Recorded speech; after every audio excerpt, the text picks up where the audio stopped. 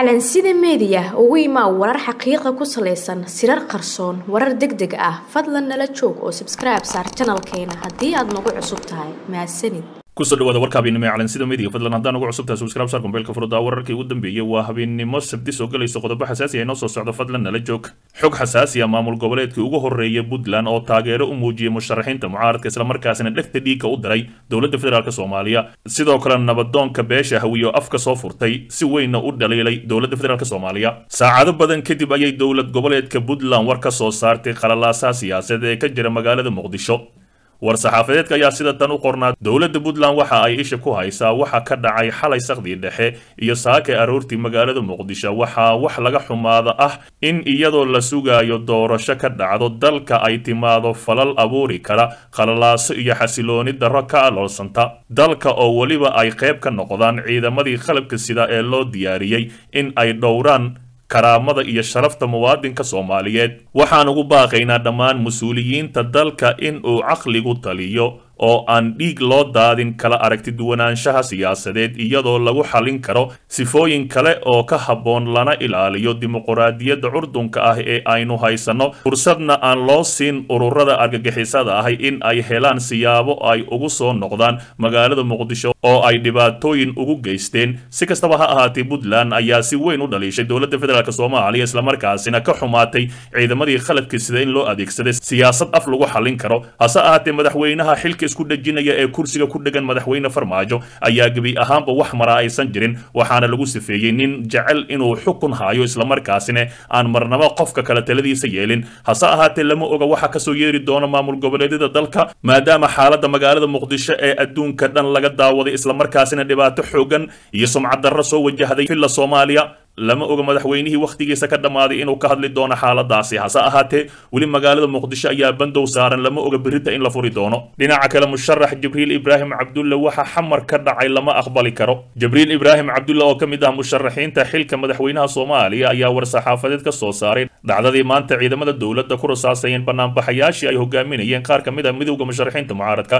Jibriil cabdulle oo ugu horrayntii wax laga xumaado ku tilmaamay iska hor imaadkii hubaysnaa ee xalay iyo saakay ka dhacay magaalada muqdisho kaasi oo uu ka dhashay khasaare isugu jira dhimasho iyo dhaawac burbur hantiyadeed. Waxaa nasiib xumo ahay in dhiig soomaaliyeed la daadiyo iyadoo shacabka soomaaliyeed iyo dalka soomaaliyeed guud ahaan ay xilligaani u jihaysteen in ay qaadaan waddada nabadda iyo dib u yegleelidda dimuquraadiyadda ayaa lagu yidhi war-saxaafadeedkani waxaa kale oo lagu yidhi baaqa dastuurka jamhuuriyadda federaalk soomaaliya ayaa si cad u qeexaya xuquuqda qof kasta soomaali ahi alle ka sokow awoodda oo dhan waxaa leh shacabka wuxuuna ugu isticmaalayaa si toos ah isagoo u adeegsanaya. Hay'adihiisa u xil saaran marnaba gorgortan lama gelin karo go'doominta iyo xorriyadda qofka soomaaliya. Musharaxa ayaa si adag u sheegay in shacabka soomaaliyeed ay xaq u leeyihiin inay fikirkooda ka dhiibtaan mustaqbalka dalkooda isagoona wax aan loo sii dulqaadan karin ku tilmaamay wixii xalay ilaa saaki ka dhacay magaalada muqdisho.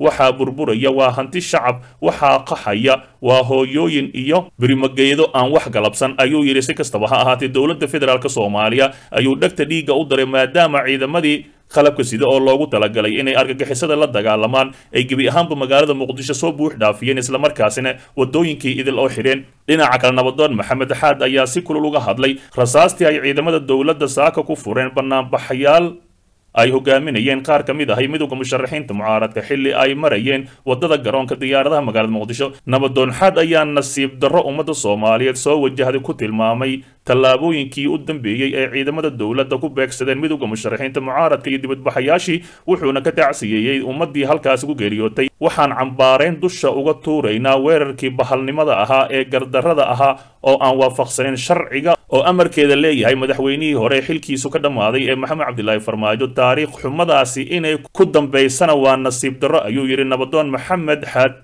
waxa uu si weyn u cambaareeyey weerarkii ay xalay ciidamada gorgor ku qaadeen madaxweynayaashii hore ee dalka xasan sheekh maxamuud iyo sheekh shariif sheekh axmed oo ku sugnaa hoteelka maa-idda exnaasa hablood si kastaba ha ahaatee madaxdii hore ee dalka xasan sheekh maxamuud iyo sheekh shariif sheekh axmed ayaa gebi ahaanba ka guuray hoteelkii ay deganaayeen naasa hablood ayagoona u wareegay halkii hore ee u deganaa jireen oo ahaa garoonka meel u dhow islamarkaasina ammaankeedu aad u adag yahay. Si kastaba ha ahaatee ilaa iminka weli sooma hadlin. Fadlan dib u daaw wararkeenii hore ee calansida meediya xog xasaasiya ra'iisul wasaare rooble oo ku jeejeesay madaxdii hore islamarkaasina sheegay in dalka aysan burburi karin dad ayaga hubaysan hase ahaatee wixii xalay dhacay keliya uu shacabka ka raaligareeyay islamarkaasina sheegay shacab oo gurigiina jooga xog xasaasiya ra'iisul wasaaraha wakhtigiisa dhammaaday rooble oo ku jeejeesay madaxdii hore islamarkaasina dhibkii ay qabeen deb ku sii qabtay. Ra'iisul wasaaraha jamhuuriyadda federaalk soomaaliya ee wakhtigiisa dhammaaday maxamed xuseen rooble ayaa muuqaal laga soo duubay. Uu baahiyey xafiiskiisa ayuu kaga hadlay xaaladihii ugu dambeeyey ee muqdisho ka dhacay saacadihii la soo dhaafay islamarkaasina marmarsiyo yaab la keenay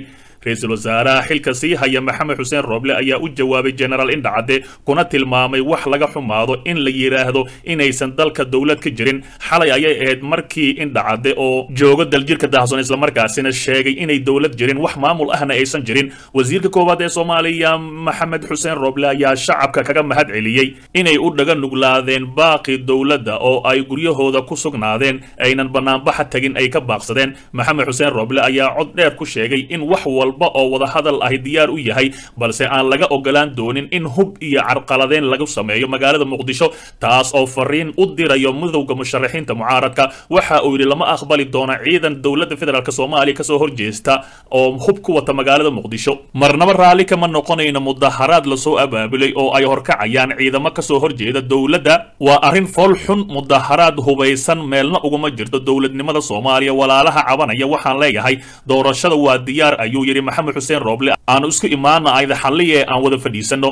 Wuxuu isu muujiyey inuu mas'uul ka yahay wixii dhacay isagoo sheegay inay nasiib darro tahay in cid aan isaga ahayn la raadiyo isagoo dadaal ku bixinaya in la hakiyo wixii dhacay. Laakiin ay nasiib darro tahay inay warkiisa tixgelin waayeen siyaasiyiinta oo ula jeedo midowda musharaxiinta mucaaradka uu ka hadlayo oo uu doonayo inuu la kulmo hase ahaatee rooble ayaa gebi ahaanba sheegay in ay musharaxiinta mucaaradka diideen inay asiga la kulmaan. Waa nasiib darro in warkayga la tixgelin waayo waa nasiib darro in la ila hadli waayo waa nasiib darro in la diido in la ila kulmo. Oo gadaashayda qof kale laga raadiyo nabadda gacmaheenna ayay ku jirtaa wax aan aniga idin qaban waayo ma jirto. Cid idin qabanaysa ma jirto. Diyaar ayaan idii ahay inaan idinla fadhiisto oo aan xalliyo. Waxa aad tabanaysaan ayuu yidhi ra'iisul wasaaraha xilka sii haya maxamed xuseen rooble hadalka ka soo yeeray maxamed xuseen rooble ayaa dab ku sii shidaysa dhibkii iyo dhibaatadii loo geystay madaxdii hore soomaaliya oo ilaa iminka aamusan islamarkaasina la sheegayo wararkii u dambeeyey inay ka guureen hoteelka naase hablood kuna laabteen gurigoodii.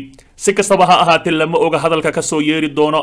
Midowda musharaxiinta mucaaradka gaar ahaan madaxweynayaashii hore isha ku haay calan sida media. Dhinaca kale safarkii madaxda maamul goboleedyada ee muqdisho oo baaqday shirkii uu ku dhawaaqay madaxweynaha muddaxileedkiisa dhammaaday maxamed cabdilaahi farmaajo ayaa qabsoomi waayey mana la dareemayo in madaxda maamul goboleedyada ay isku diyaarinayaan imaatinka magaalada muqdisho oo saacadihii la soo dhaafay qalalaaso xoogan ka dhacayeen farmaajo ayaa ku dhawaaqay in laba maalmood shir la isugu yimaado magaalada muqdisho si loo saxiixo isfahamkii ay magaalada baydhabo ku soo gaareen guddiga farsamada ee halkaasi ku shirayey madaxweynaha wakhtigiisa dhammaaday wuxuu asteeyey in siddeed iyo tobanka ilaa sagaal iyo tobanka bisha la isugu yimaado caasimadda waxaana la sugayaa inay madaxda maamul goboleedyada soo xaadiraan si shirkaasi uu qabsoomo. Madaxweynaha dowlad goboleedka koonfur galbeed cabdicasiis xasan laftagareen ayaa shalay soo gaaray sidoo kale madaxda kale ee maamul goboleedyada ayaa soo gaarin. Iminka waxaa soo gaaray cali guudlaawe oo ah hirshabeelle laakiin puntland iyo jubbaland iyo galmudug weli sooma gaarin. Sida muuqata shirka ma qabsoomi doono maadaama labada maalmood ee la qabtay ay maanta ugu dambeyso. Wuxuuna wakhtiga ku soo aadayaa xilli muqdisho ay ku jirto. Xaalad cakiran islamarkaasina hub uruursi ahi. Calansida meediya ayaa ogaatay in ay u baaqdeen madaxda maamul goboleedyada dalka sababa la xiriira xaalada cakiran ee caasimada ka jirta. Kadib markii dowladda federaalka awood u adeegsatay dibadbaxayaashii musharaxiinta mucaaradka. Magaalada muqdisho ayaa inteeda badan maanta lagu arkayay ciidamada gaarka ah ee dowladda federaalka oo xiray waddooyinka waxaana ay joojiyeen isku socodka gaadiidka dadweynaha halka meelaha qaar shacabka laga celinayo islamarkaasina gebi ahaanba hooyo fool ah xataa ay mari karin si kastaba ha ahaatee lama oga xilliga ay imaan doonaan axmed madoobe iyo saciid dani maadaama xaalada magaalada muqdisho aad u cakaran tahay. Waa in madaxweynaha wakhtigiisa dhammaaday farmaajo uu soo saaraa qoraal kale islamarkaasina uu ballan kale u qabto maadaama labadii beri ay dhammaatay shalay iyo maanta. Si kastaba ha ahaatee wararkayna xiga ayaan ku soo tabin doonaa xaaladihii ugu dambeeyey magaalada muqdisho. Madaxdii hore ee dalka xasan sheekh maxamuud sheekh shariif sheekh axmed ayaa hoteelkii naase hablood ee xali ku hoydeen ka guuray islamarkaasina meelihii ay ka deganaayeen magaalada muqdisho ku laabtay islamarkaasina waxay doonayaan in goordhow ee saxaafadda la hadlaan. Hase ahaatee wararkayna xiga ayaan ku soo tabin doonaa fadlan la joog calansida meediya oo noqo qofka ugu horreeya oo daawada haddii aad nagu cusub tahay janaalka subscribe saar si oo kugu soo dhaco notificationkan ee gombaleelka furo calansida meediya ugu imaa warar xaqiiqa ku salaysan sirar qarsoon warar deg deg ah. Fadlan nala joog oo sabskribe saar janalkeena haddii aad nagu cusub tahay. Mahadsanid